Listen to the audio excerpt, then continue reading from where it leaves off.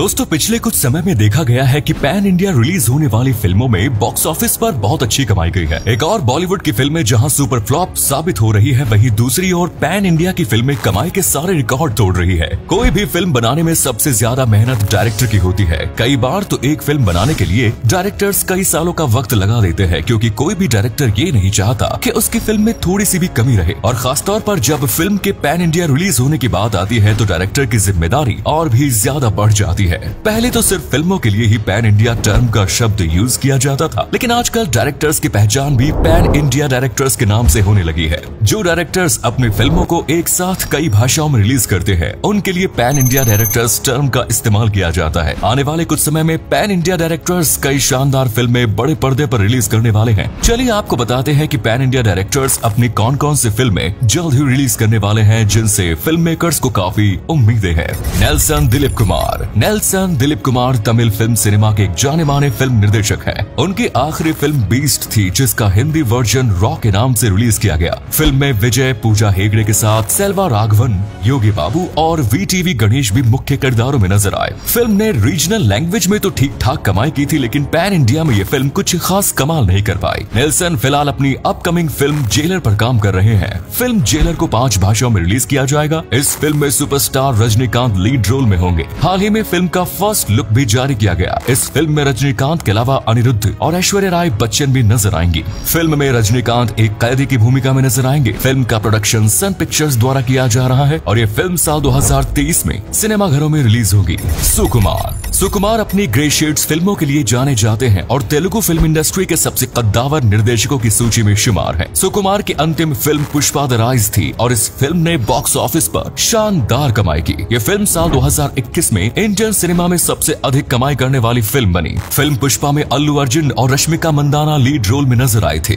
पुष्पा ने बड़े पर्दे पर साढ़े तीन सौ करोड़ से अधिक की कमाई की थी। इस फ़िल्म की सफलता के बाद सुकुमार ने इसके सीक्वल बनाने का ऐलान किया। फ़िल्म के दूसरे पार्ट का नाम पुष्पा द रूल होगा। इस फ़िल्म का बजट 400 करोड़ रुपए बताया जा रहा है और सितंबर महीने में इसकी शूटिंग शुरू कर दी जाएगी। इससे पहले साल 2018 में सुकुमार ने फ़िल्म रंग स्थलम बनाई थी, जिसमें समांथा रूथ प्रभु और रामचरण लीड रोल में थे। क्रिटिक्स का कहना है कि यदि वो फ़िल्म पैन इंडिया रिलीज़ होती तो कमाई के कई रिकॉर्ड्स तोड़ सकती थी। Next is Lokesh Kanagaraj.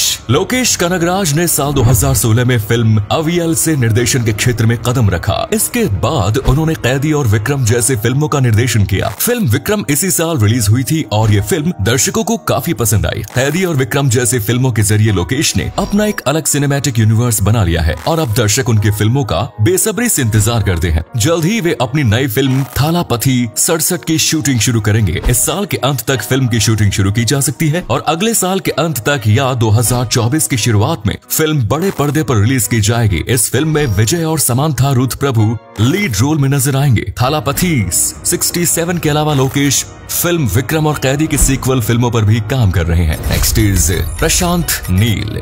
Film KGF के दोनों पार्ट ब्लॉकबस्टर हिट होने के बाद प्रशांत नील का नाम इंडियन सिनेमा के सबसे कद्दावर डायरेक्टर्स में शुमार हो गया है। केजीएफ फ़र्स्ट की रिलीज़ के बाद से ही लोग केजीएफ टू का इंतज़ार कर रहे थे। और इस साल केजीएफ टू जब बड़े पर्दे पर रिलीज़ हुई तो प्रशांत ने दर्शकों को निराश होने का मौका नहीं दिया। अब जल्द ही प्रशांत अपनी अगली फ़िल्म सलार लेकर आने वाले है। फ़िल्म सलार का टीजर और ट्रेलर रिलीज़ कर दिया गया है।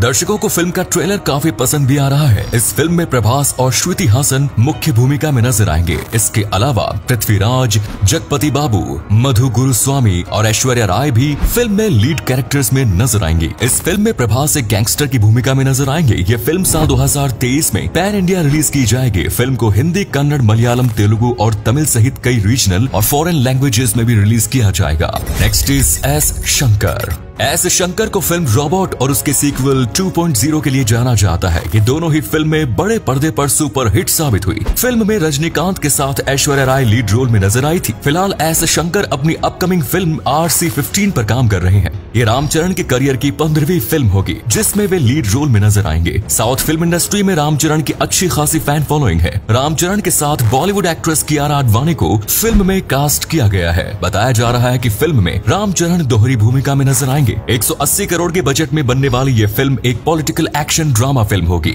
Next is S S Rajamouli S S Rajamouli अपनी फ़िल्मों पर काफ़ी मेहनत करते हैं। उनकी फ़िल्मों के शूटिंग लोकेशंस, वीएफएक्स, सेट सब कुछ दमदार होते हैं। वे अब तक तीन बैक टू बैक ब्लॉकबस्टर फ़िल्में दे चुके हैं जिनमें Baahubali the beginning Baahubali two the conclusion और इस साल रिलीज़ हुई triple R film triple R में जूनियर एनटीआर और रामचरण लीड रोल में नज़र आए थे। इन तीनों ही फ़िल्मों ने बॉक्स ऑफ़िस पर शानदार प्रदर्शन किया था। जल्द ही राजा मौली एक बहुत ही बड़े बजट की फ़िल्म लेकर आने वाले हैं, जिसमें महेश बाबू लीड रोल में नज़र आएँगे। फ़िल्म का बजट 700 करोड़ रुपए बताया जा रहा है और ये फ़िल्म साल 2025 तक सिनेमाघरों में दस्तक दे देगी। इस फ़िल्म के प्रोड्यूसर के एल नारायणन होंगे। इस प्रोजेक्ट का नाम फ़िलहाल S S M B twenty nine बताया जा रहा है। यह फ़िल्म का ऑफिशियल नेम होगा या इसमें बदलाव किया जाएगा, इस बारे में कोई जानकारी सामने नहीं आई खबरों की माने तो ये एक्शन एडवेंचर और सस्पेंस से भरपूर फ़िल्म होगी, जो इंडियन सिनेमा की सबसे ज़्यादा कमाई करने वाली फ़िल्म साबित हो सकती है। तो दोस्तों, ये है पैन इंडिया डायरेक्टर्स की कुछ अपकमिंग फ़िल्में जो आने वाले समय में बॉक्स ऑफ़िस पर धमाल मचा रही है। इसके अलावा फ़िल्म टाइगर नागेश्वर राव और आदि पुरुष जैसी फ़िल्मों से भी अच्छी खासी कमाई की उम्मीद लगाई जा रही है। एक समय जो पहचान अनुराग कश्यप, प्रकाश झा, राजकुमार हिरानी या चोपड़ा और संजय लीला भंसाली की हुआ करती थी, वही पहचान आज साउथ फ़िल्म इंडस्ट्री के डायरेक्टर्स की बन गई है। और यहाँ तक पहुँचने के लिए साउथ फ़िल्म इंडस्ट्री के डायरेक्टर्स ने काफ़ी ज़्यादा मेहनत भी की है। तो आपको कौन से पैन इंडिया डायरेक्टर की कौन सी फ़िल्म अभी तक पसंद आई? और हमारे द्वारा बताई गई सभी अपकमिंग फ़िल्मों में से आप कौन सी फ़िल्म का बेसब्री से इंतज़ार कर रहे हैं? कमेंट्स में ज़रूर बताएँ। आज के लिए इतना ही। धन्यवाद।